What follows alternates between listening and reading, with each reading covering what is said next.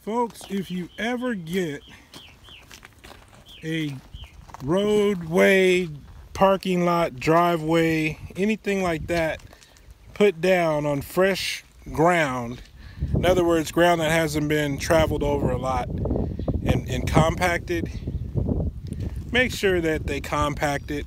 I would suggest getting uh, maybe that fabric stuff, have it compacted, put the fabric stuff down to stop a lot of weed and stuff, weeds and everything growing through your rocks. Um, the guy that did my rocks didn't really um, do that, so he just kind of bulldozed everything and then, well, just put the rocks down. So what happens is you end up with a lot of potholes from where trees were especially.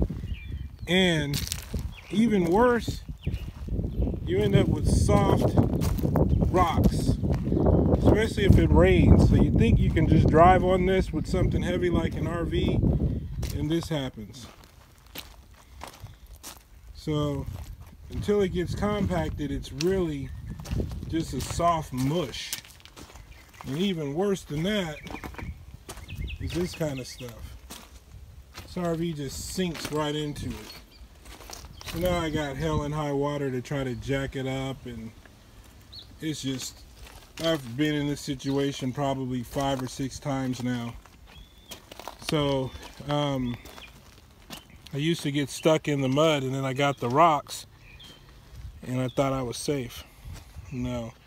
So if you get a rock, any type of thing like this, and you have anything heavy to drive on it, then I would suggest you get your rocks compacted down um, just to make sure that you don't sink into the, the rock bed. So cars seem to be okay, but heavy stuff, not so much. This is Shannon with Travel and Work. Hope you found this helpful. If so, like and subscribe. Peace.